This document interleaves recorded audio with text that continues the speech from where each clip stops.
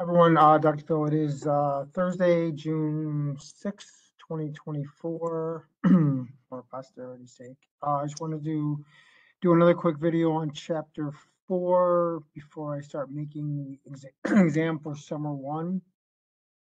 I'm hoping this will all work. Uh, I'm able to share the screen, but I'm not figuring out how to, okay.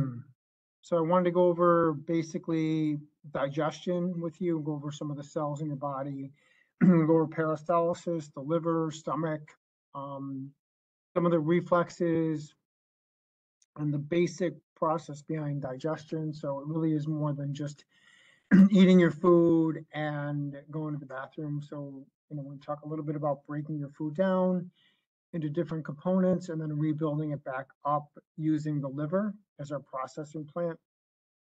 So please realize your body has 100 trillion cells. I want to get into the microbiome here in a little bit. Excuse me. Which is in your intestines. And please realize the microbiome outnumbers your cells by 100 to 1.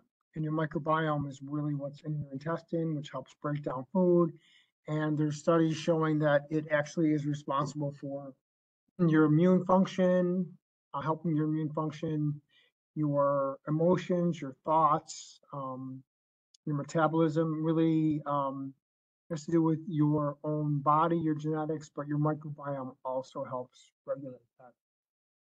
All of your cells are specialized. So whether it's blood cells, um, blood plasma, muscle cells, uh, smooth muscle for your intestines, or um, rugae in your stomach, which are in three different directions. So when you swallow your bolus from your throat, it goes in your stomach, and your stomach pulverizes in three different directions. Those muscles are oriented to do that. Then it goes um, through the sphincter into your duodenum, then in your small intestines, your large intestines to reabsorb the water, and then into your rectum until it's socially acceptable to defecate. So we'll go over some of the basic tissues. Please realize tissues are two or more cells, and then two or more tissues um, develop into organs. And then the organ system we'll be kind of talking about today will be digestive system, and then you being the whole organism.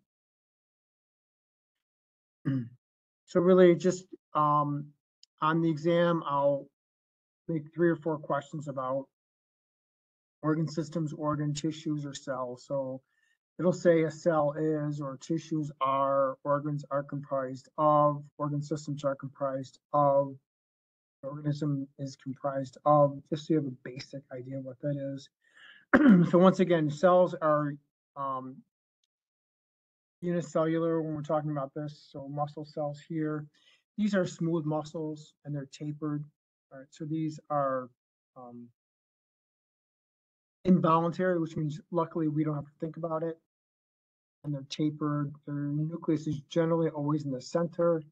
Right. And then if we have two or more cells together, that's a tissue. Right. And then we'll get into an organ would be two or more tissues. So please realize your stomach has a lining. It has um, mucin cells, or mu yeah, mucin cells, or goblet cells that make mucin, and that turns into mucus. Then you have cells um, that produce hydrochloric acid to help you digest. We have uh, cells of the pyloric sphincter to regulate food coming in and out of the stomach. Right, and then you have different muscle tissues to churn that up. Then your organ system would be a little bit what we're going to talk about today. So going from your mouth, pharynx, through your diaphragm into your stomach, then your duodenum, small intestine, jejunum, ileum, um, and then the large intestine. And then you have your organism. So whether we're talking about you know, basically any mammal or even reptiles, or amphibians, they all have digestive systems and they comprise the organism. All right, so here's just a basic from your book, good Lord, chapter four, the organ systems of body. We're going to really just today talk a little bit um, about peristalsis, the small intestines, break down the organs uh, individual a little bit.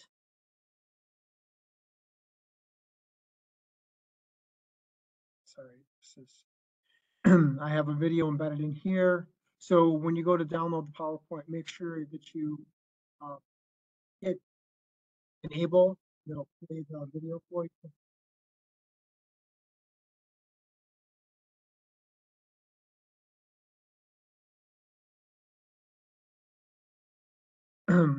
Okay, so you can watch that video on your own. It's about five minutes long. I've got about five embedded in here.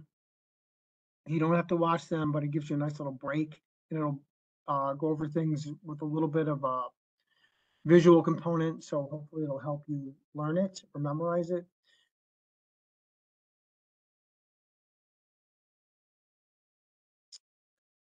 All right, so digestion really is, um, humans are basically omnivores. All right, some people are vegan, some people, um, you know, it depends, um, on your your beliefs or what you choose, but generally humans are omnivores. All right, so digestion is mechanical.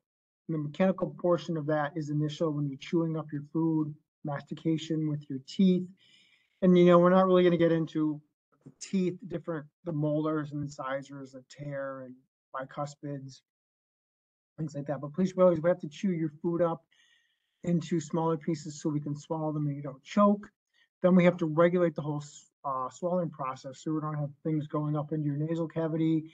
And when you go to swallow, your epiglottis has to close so we don't inhale things into our respiratory system. I'm sure we've all done that with uh, soda or milk or water or something where you laugh or sneeze or while you're eating and then it can be problematic.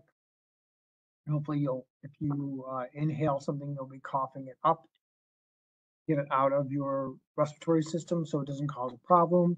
And the chemical portion, please realize, is once the food, well, technically in your stomach, I'm sorry, in your mouth, you have um, salivary amylase that can start breaking down some starches into sugar.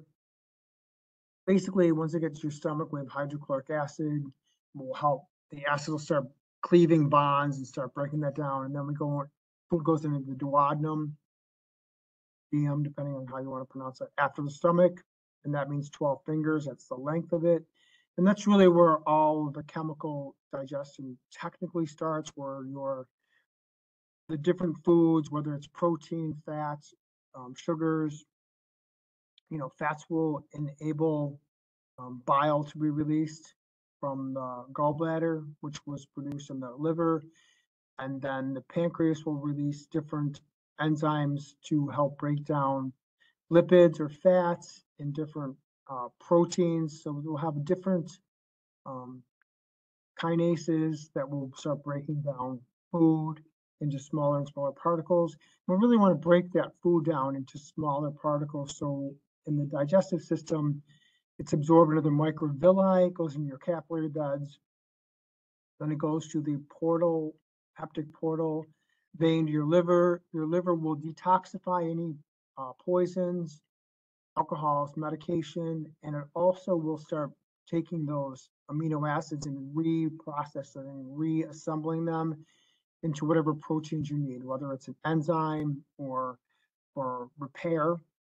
And it also will help, some of that, the liver will store glycogen, help regulate your glucose, sugar levels along with the pancreas. So if they ever ask you, your pancreas is digestive and endocrine. It'll, has digestive enzymes, but also has alpha and beta cells, which can start regulating your blood sugar.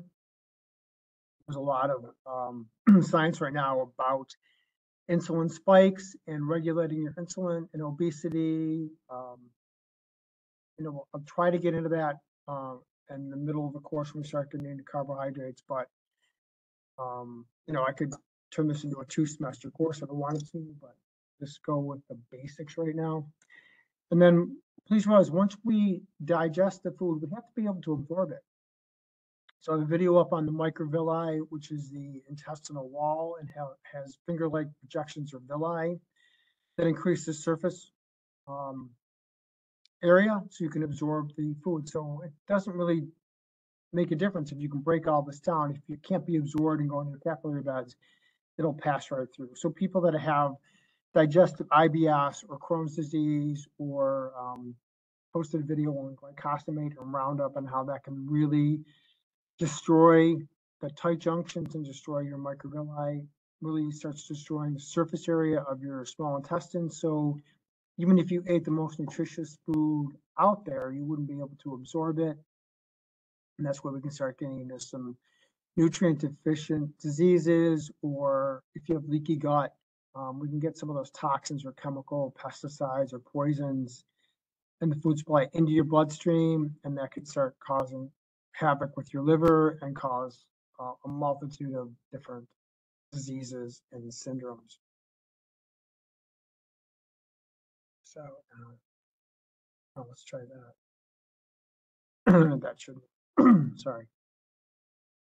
Right, your digestive tract. And please realize I want to point out your digestive tract goes from your mouth, your anus, and it is literally outside your body. I know that everyone thinks it's inside your body, but it actually is on the exterior. So anything that you're consuming, any air, water, or food is on the outside of your body. It has to be able to be brought into your body, and we have a lot of mechanisms to make sure that only what we want is brought in once again, I'm going to reiterate, if you destroy your microvilli or you destroy those tight junctions, your digestive tract, things can get into your body that shouldn't be. They kind of bypass the barrier and that can cause a lot of problems.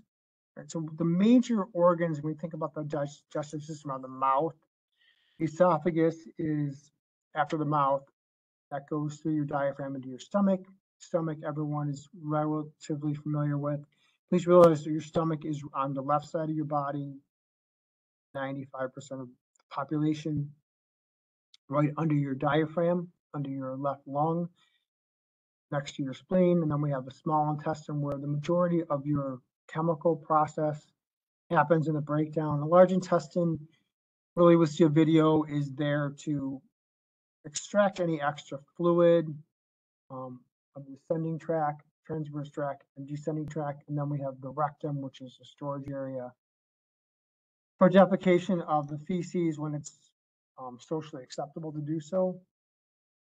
Now, accessory organs are not the major organs, but they do uh, help with digestion. So teeth are uh, important. You can live without them, but they do help with speaking phonation and breaking down food. Your tongue, you have to have your tongue intact to be able to swallow things in a regulated manner. And swallowing is actually a very complex process. Your salivary glands in your mouth, you have to be able to release um, saliva to mix with the food to swallow it. And the chemical breakdown happens there. And without saliva, you wouldn't be able to really taste food. And you also have to have um, cranial nerve one Smell is actually associated with taste too. They're all interrelated, but beyond the scope of the course. Your liver has over 500 functions. So for right now, uh, liver is going to be where the majority of your nutrients go after they get into the small intestines. They go into the capillary bed, come to the portal porta system, they go to your liver. Your liver will detoxify things, break them down further, and then rebuild them up. Gallbladder is basically only a storage space for bile. Bile is um, a product of your liver. It helps with, doesn't really digest fats. It helps emulsify them or break them down into smaller particles so they can be broken down easier. So some books or some people will say your bile uh, digests fat. It really doesn't. It just kind of breaks it down. Right. And bile also, if you take microbiology, it it helps inhibit a lot of gram-positive bacteria. So your gut should have only enteric gram-negative bacteria in it for the most part. And your pancreas, as I said, is going to be for this chapter a major digestive organ for enzymes that get released the minute food leaves your stomach into the through the sphincter of Oddi into your duodenum for digestion. But please realize, when you get into carbohydrates, we're going to realize that your pancreas also helps regulate your blood sugar um, through insulin and glucagon. Right? and alpha and beta cells. We'll talk a little bit, hopefully, about diabetes, type one uh, and type two. Right. So there's a breakdown of your digestive tract. And once again, please realize it is an open tube all the way, all the way through here, all the way over and out. Open tube, it's literally outside of your body.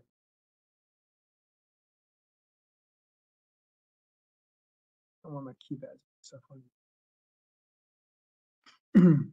So digestion, once again, teeth and chewing, you have to have saliva and some enzymes. Amylase is one that'll help break down um, starch into sugars. And if you don't believe me, take a saltine cracker or cracker and just keep chewing it over and over again without swallowing it, and you'll realize it'll turn sweet as those enzymes break that starch into sugar. Your tongue, you have your taste buds for sweet, sour, salty, bitter, and umami, umami, which is that beef or savory flavor, which was really, I think, discovered in the seventies, so relatively new. And then smell.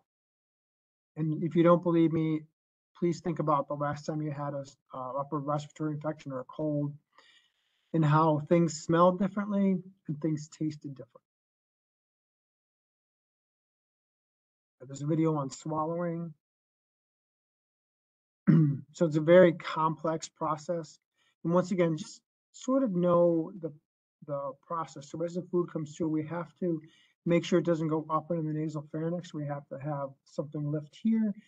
And then when you swallow, the epiglottis closes this opening so that air, the food doesn't go in through your mouth. So this is a shared airway here where the pointer is for food and air.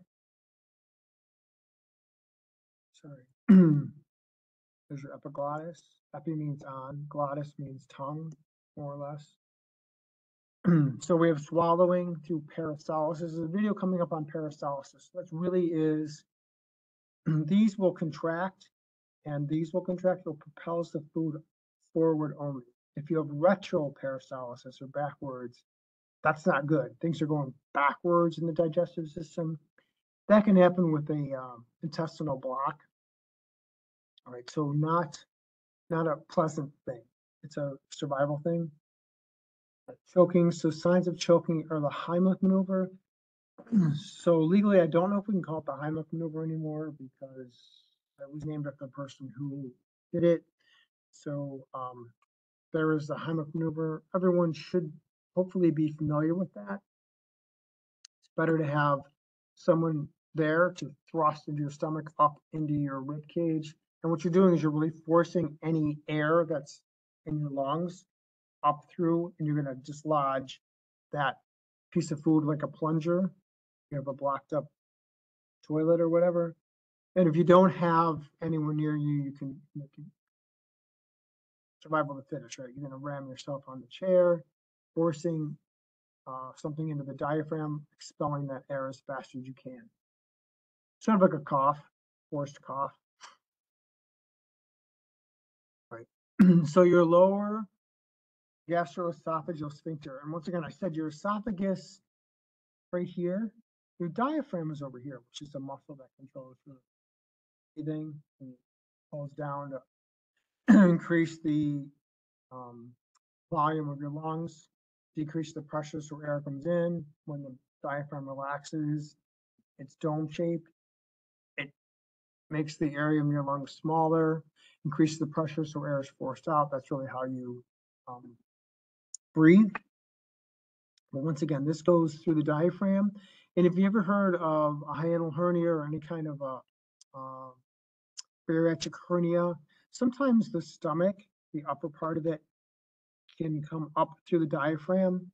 It doesn't really close all the way, or if you overeat, um, or if you have really poor habits, Barrett's esophagus, where the um, hydrochloric acid and enzymes get expelled up into here, they start eroding the esophagus, so that's not good either.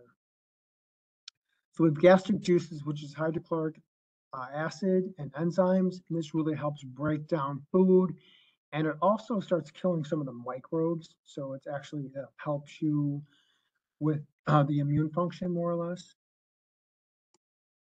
Mucus is the same thing that's in your nose, in your back of your throat. That coats your stomach so the hydrochloric acid doesn't start dissolving in your stomach muscles.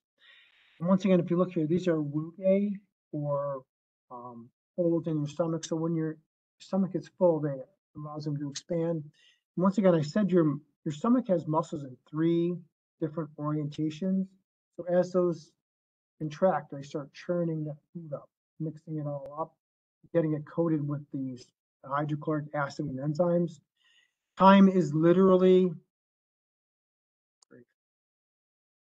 chyme is literally when you swallow the food through mastication, goes in your stomach, that bolus turns into chyme. So kind of a pasty type substance, and that goes through the um, pyloric sphincter into the duodenum about a tablespoon at a time. If we have more than that, you get into um, a lot of problems with oncotic pressure. It's called gastric dumping. It can cause major, major problems. Uh, your digestive has to changes the osmolarity and, and causing all kinds of. I won't get into it, but it's not a good thing. And then we have a small intestine, the duodenum. Once again, is this little portion here? The first, it means 12 fingers, the first area where your gallbladder's gallbladder's up here, your pancreas is over here. This is where a lot of these things get dumped in to mix with that chyme. This is where the chemical processes start. your jejunum is the first portion of your small intestine. Then the uh, ileum is the last portion of your small intestine. Then we have the ileocecal valve here where we go from small intestine to large intestine. but if you're ever asked, or if you want to think about it, most of your chemical digestion and absorption happens in the jejunum. And this is really, really long and convoluted and twisted. We really want to want to increase that transit time. And we'll see later these, the circumference of these is uh, all microvilli. That's to increase surface area so we can actually, as the chyme goes through the fingers of the intestines, we have a lot of area to absorb the nutrients through the microvilli and into the capillary beds. So villi are like little finger-like, hair-like projections, and we have a capillary network. And we have lacteals, and they really will help absorb tiny, tiny, tiny micro pieces of fat. But generally, larger pieces of fat don't dissolve in water, so they really can't go into the capillary bed. That's where we have to have your cholesterol or HDL or LDL. We have to really coat that fat with some protein to float it around in your capillary bed so we can get it to the areas of the body we need to. And then we have absorptive cells. So we have a chemical breakdown without cells to absorb it and get into the bloodstream. It doesn't really do us any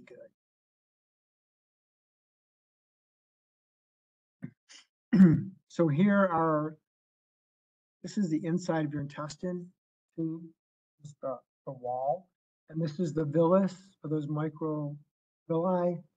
And once again, these are really going to help increase the surface area.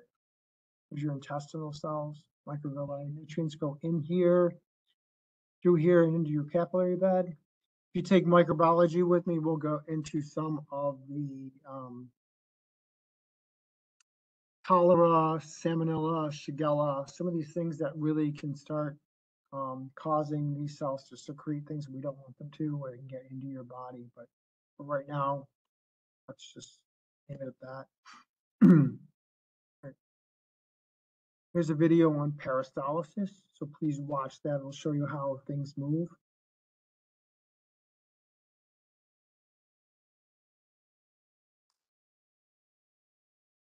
So please watch that. I'll help explain a lot of this.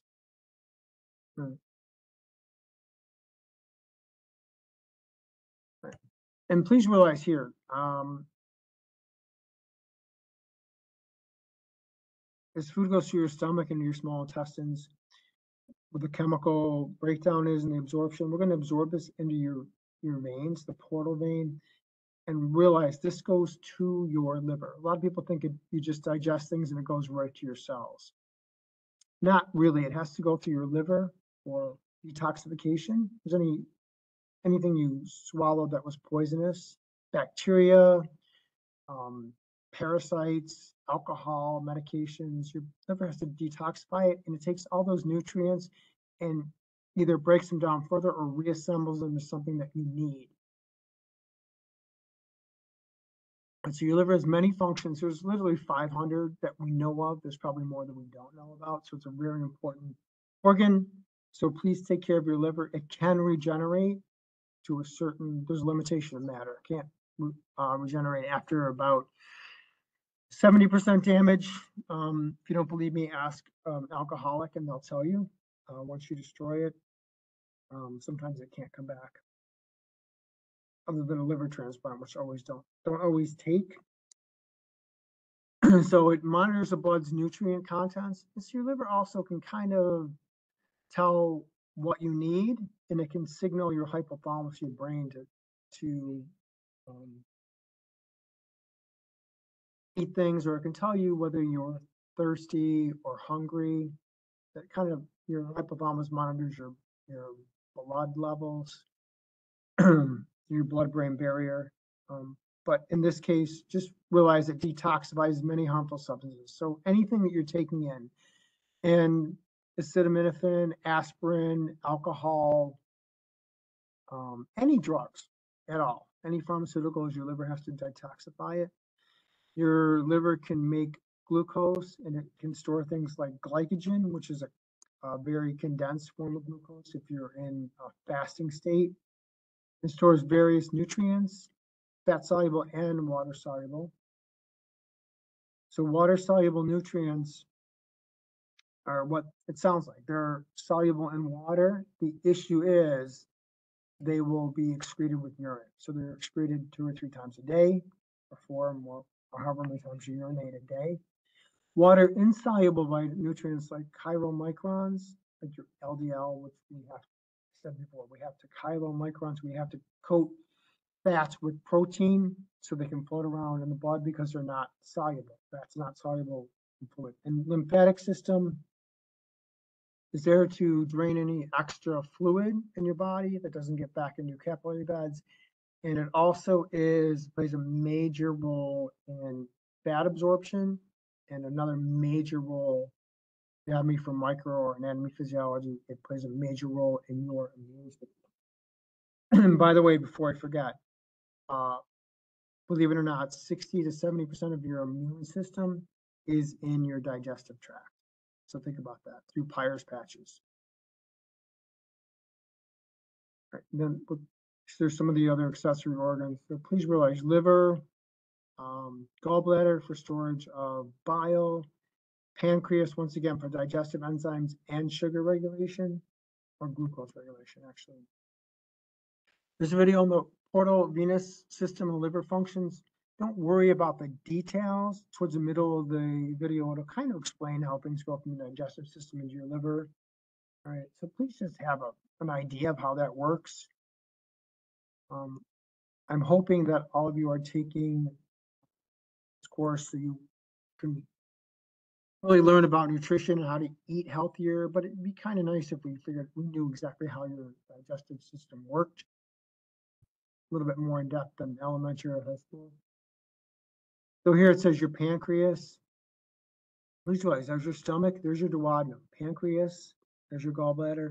So this area of your intestines, and duodenum, is really where we start dumping all of these uh, enzymes and, and the bile into the first portion of the small intestine because the chyme just came out of here, the pyloric sphincter, about a tablespoon at a time. And we're going to hit it with enzymes. We can turn it around so we, can have increase the surface area so we can start breaking it down. Your large intestine, please realize your small intestine was here, jejunum, ileum, ileocecal valve. All right, your appendix is right here, by the way, just so you know. So everything is pretty much been digested, absorbed through chemical processes and hopefully absorbed into the villi, the liver to get processed. This is where we start getting rid of any fecal matter, anything that isn't digested. And please realize it's full of bacteria too. And please don't think that all bacteria are bad. You need bacteria or you won't be able to break down your food.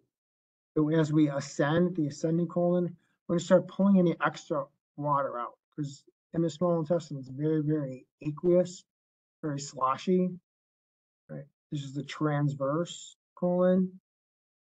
Descending colon would take all the water out. This is the rectum where we store.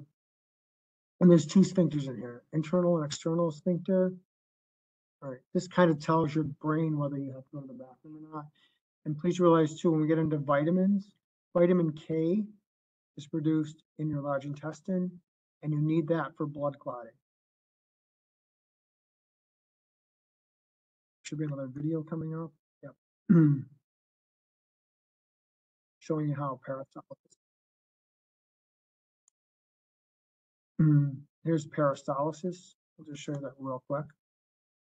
It's like thirty seconds, but this is really how you're fascinating, how you're when you hear your stomach churning and you can feel the food moving in the intestines. That's peristalsis. These are closing and we're contracting, we're moving that food in a one-way direction. There goes Mr. Hanky. Going right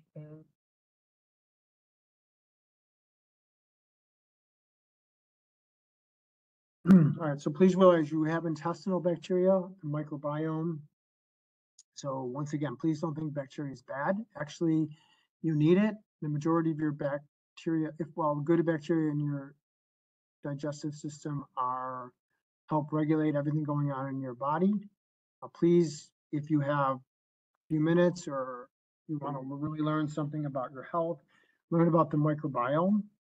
It's extremely essential a really hot topic in the past 10 or 15 years. Hopefully, um, they'll start teaching this or at least discussing it in elementary school and high school, but we're going to discuss it now. And then you need your good bacteria. So without your good bacteria, if you take a bunch of antibiotics and you wipe out all of your bacteria in your body and your small intestine, uh, the only that's left is your, I'm going to details, but spore formers or Clostridium difficile and you can have some major, major um, issues with that. And a lot of antibiotics will not kill C. diff. So please keep your uh, natural microbiome healthy. And there are studies where we've taken microbiome from one person to another, and that person will start taking on characteristics of the person that we transplanted the uh, microbiome from. So it's not just um, fake science. There is some research behind it. So antibiotics can wipe out your microbiome. And please realize, uh, when we get into food safety, a lot of your food has antibiotics in it because these animals are living in conditions which might be disease causing. So the majority of the antibiotics in the United States right now are actually used for and the food processing industry, which is astounding for me. Probiotics are foods you can eat to help your bacteria and help um, with bacteria grow. And please realize there's some bacteria that live on the fiber. You need fiber in your diet to help things move through peristalsis. It actually stretches your intestines, makes you feel fuller. Uh, it'll help you not get um, polyps and all kinds of digestive issues. So please um, start thinking about ways to incorporate more fiber in your diet. Because right now, the food supply in the US is stripped of all fiber. You know, refined foods are meant to be stored and shipped all over the world. Probably not the healthiest thing, but I won't um, digress into that. Or I will, but I'll try not to keep reel it in. All right, intestinal infections. We have this from starvation, antibiotics, and emotional stress. Please realize emotional stress can cause uh, increased transit time in your intestines. It can cause um, decreased transit time, can cause it to be uh, paralyzed. it can cause increase in hydrochloric acid, which will make your intestinal acidic. Uh, you know, your duodenum and pancreas can secrete a bunch of bicarbonate to change that pH from your stomach into something a little bit more neutral, but your um, emotional stress can really affect that. Um, starvation here is um, starving because you don't have food, which is different than fasting, which they're doing a lot of studies on fasting and how that's actually very healthy for you, whether we're talking about um, intermittent fasting or fasting for a day, two days, three days, a week.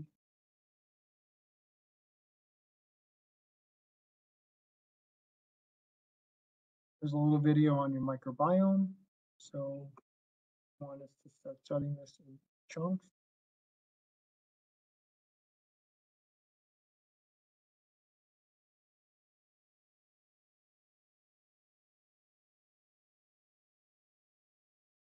in some of these disorders.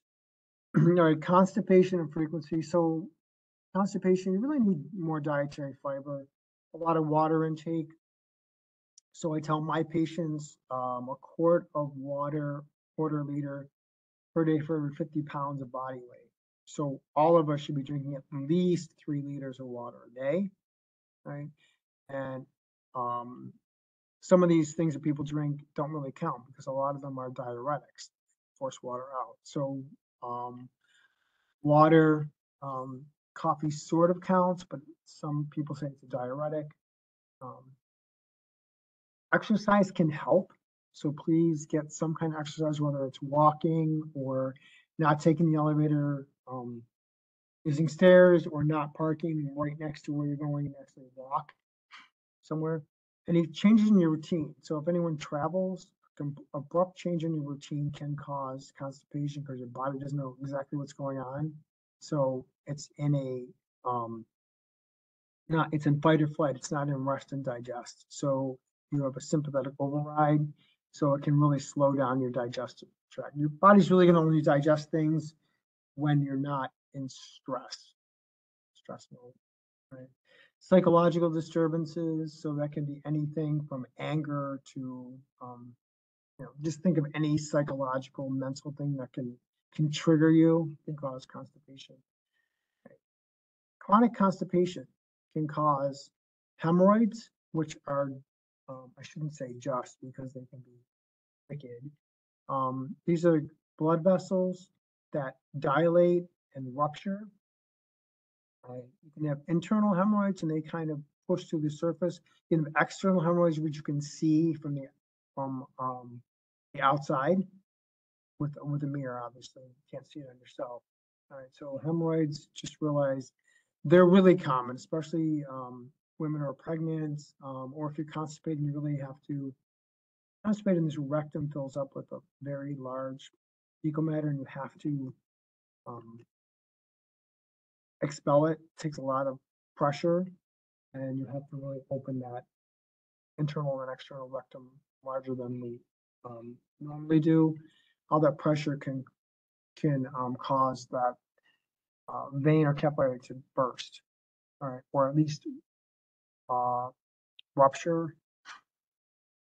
Diverticula are um, small intestine. You have little pockets from not eating a lot of fiber or having slow transit time. So the, the tube in your small intestine will find the weakest area and it'll just kind of bubble out. So there's a diverticula. Diverticulitis is inflammation of this area. Diarrhea, we've all probably experienced that. Symptoms, causes can be um, illness.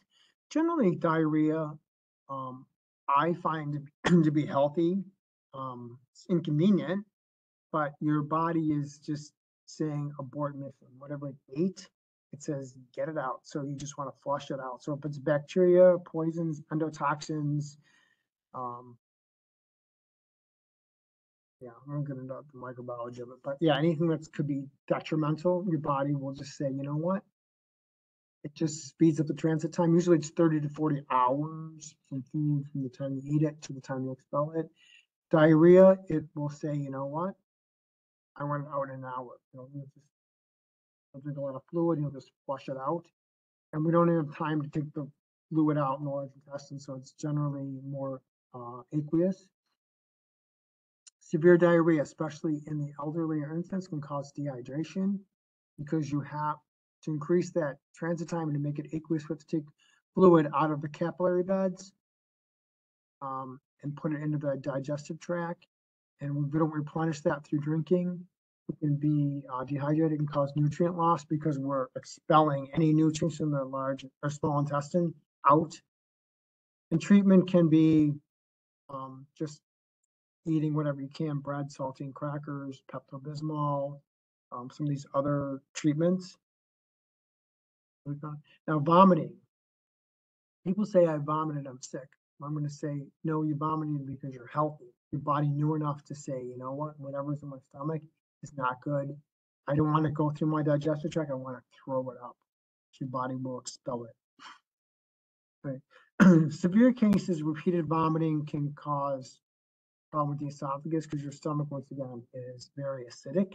Has a pH of two to four, depending on who you're talking to. So it's very acidic and repeated vomiting can start eroding the esophagus. You can have Barrett's esophagus or metaplasia. Concurrent diarrhea, you can have vomiting and diarrhea. You have the, I've never had the flu. I don't ever want it, but from what I've heard, uh, these are E. coli, by the way. Tell by the pink rod shape. Acid reflux. Somebody probably have that. So your stomach, you have so much acid or you're belching that it goes that um, esophageal area into your diaphragm, and that's where you can get stomach contents go up into your throat. Not good. Heartburn is really similar to this. So you can have that, um, just a lot of gastric upset from eating fatty, greasy food. Ketchup, which is high in sugar, mustard, vinegar is big, is acidic. Tomato-based sauces uh, cause a lot of heartburn. Carbonated beverages can cause you to belch and have a lot of heartburn. Peppermint, coffee, some people and chocolate. So just be aware of some of the foods you eat can um, make you more prone to heartburn. And GERD, I mentioned before, gastroesophageal reflux. So mouth, esophagus, stomach. So reflux is when it goes the wrong way. It's called GERD. So frequent acid reflux, nausea, gagging, chronic cough, and hoarse throat from that stomach acid coming up through the um, cardiac sphincter and into the esophagus. esophagus. Risk reduction. So how can we slow it down?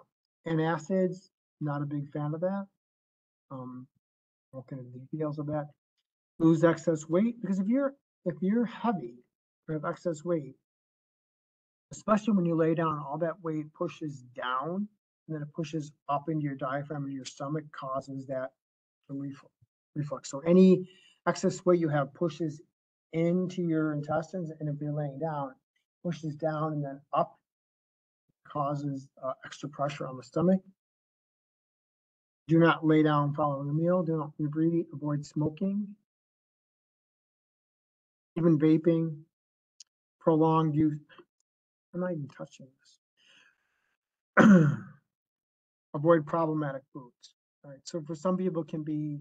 For me, it is tomato-based sauces before bed. Nightmare. Terrible. So it can be coffee, it can be spicy um, foods, hot sauce, you know, varies per person. But something that's going to irritate the stomach can cause an increase in that. And then once again, you can have, if the stomach, the acid goes into your esophagus, you can cause ulcers, esophageal cancer. I mentioned Barrett's esophagus or metaplasia. Barrett's esophagus is a condition. Metaplasia is precancerous. Right. Now, peptic ulcers, that means stomach. This is when the stomach acid starts eating through the lining of your stomach, through that mucous membrane. Burning pain in the upper abdomen, vomiting fresh blood, which would be red. now, black tarry stool. So what happens with that? um, I won't get into the occult or whatever, but black tarry stools is, as that blood goes through your digestive tract, it starts digesting it. So when you go to excrete it, it's black. It's very tarry, um, not to you up, but kind of looks like a Tootsie Roll. Right. Increased risk can be H. pylori infection. So peptic ulcers are not really from stress or alcohol. They're actually from a bacteria called uh, H. pylori, and it can actually live in your stomach due to the stomach acid. Most it'll inhibit most bacteria, but H. pylori can live there. Um, Heliobacter pylori. Uh, it's found in 80% of cases. Excess stomach acid, smoking, alcohol consumption is huge in this. Right? And alcohol, by the way, alcohol and aspirin are the only two things that can be uh. Prolonged use of NSAIDs, non-steroid anti-inflammatory medications. And then family history is a factor. Gallstones extremely painful, right? Those usually gallstones um, are painful as they get jammed up into that um, the tube that drains the gallbladder into the duodenum. Right, But generally, um, when I was in grad school, it was forty female fertile, which means you have a lot of children and overweight. Those were the four keys. But what'll happen is after a fatty meal, like a milkshake, french fries, something very fatty, your body's gonna trigger the gallbladder to contract because you're putting fat into the duodenum. And I said before, gall, the gall, help emulsify fats or break it down to help uh, the smaller particles, the more surface area and the large intestines. But constantly doing that, um, sometimes it'll back up. You can have um, gallstones, and on X-ray they'll look like a bunch of it's called bag of diamonds. But we look into that. Irritable bowel syndrome, right? That can be caused um, by poor food choices, uh, increasingly prevalent since the seventies. Um, I, my speculation is it has to do a lot with, um, to be careful what I say, but a lot of the food supply or the chemicals and, um, my opinion, cause, uh, that. So you can look up that on your own if you want, but a lot of people that have it, um, all, it just, the onset will be all of a sudden, they'll have to leave a social event or they'll have to go run to the bathroom real quick. So really, your bowels are really irritable. So something's affecting it. It can be pesticides, it can be chemicals, dye, red dye in food, you know, just to name a few. Ulcerative colitis. So colon is the large intestine, the last portion. Ulcerative means ulcerated, so it's it's bleeding. It got through that first layer. Right. So ulcerative colitis usually is bloody, and that stool will be reddish. It's called frank blood because it's the lower or the last part of the GI tract. So that blood usually is excreted out. So that's generally a symptom too with that. And colorectal cancer, please realize um, cancer is any cell that's going through mitotic division overly quick. And every time your cells divide, there's always a chance that it can be erroneous. So generally, you have to have um, an error or two through mitotic division, and then you have to have some oncogenes or something that would trigger it. So it can be pesticides in the food or something chemical, a cancer causing in the food. Mix that with the cells, and generally you can have setting yourself up for some cancers or for some problems. Um, you can check that out with a colonoscopy, but signs and symptoms would be diarrhea, constipation, nausea, vomiting. Feeling the bowel is never empty. So you go to the bathroom and you say, I'm not quite sure I'm done. Blood in stools is huge. It's bleeding. All right, stools are very narrow. So um, it can be ribbon or pencil like. All right, so that's generally not a good thing. And, you know, once in a blue moon, it, it's normal, I guess, depending on what you're eating or not eating. But if it's over consistently over time, not a good thing. frequent gas, pains, cramps, and bloating, loss of weight without trying. That's a key red sign for cancer. Uh, pain that wakes you up at night or cachexia or losing weight without even trying, because as the cancer cells are dividing, they're using a lot of your nutrients. So they're dividing without any inhibition, really draining your, your resources. So you will always lose weight. You're tired all the time because you're just fatigued. The metabolic rate is speeding up in these areas. It's making the cancer cells.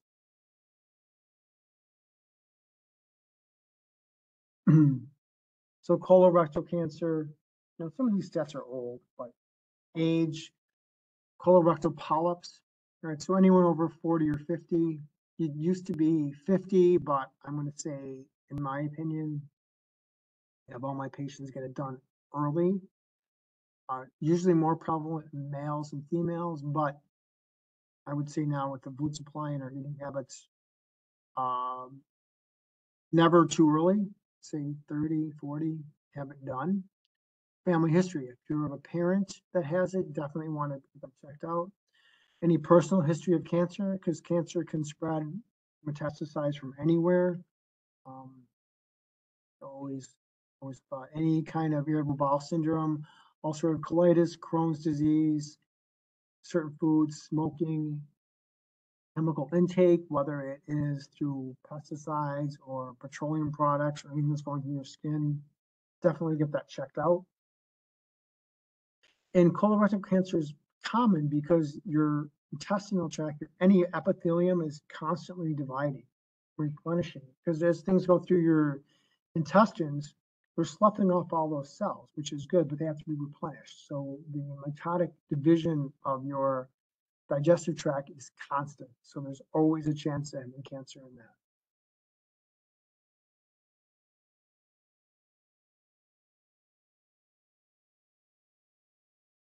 All right, I'll end the video here. We'll pick that up a little bit because I think I talked for about an hour or so.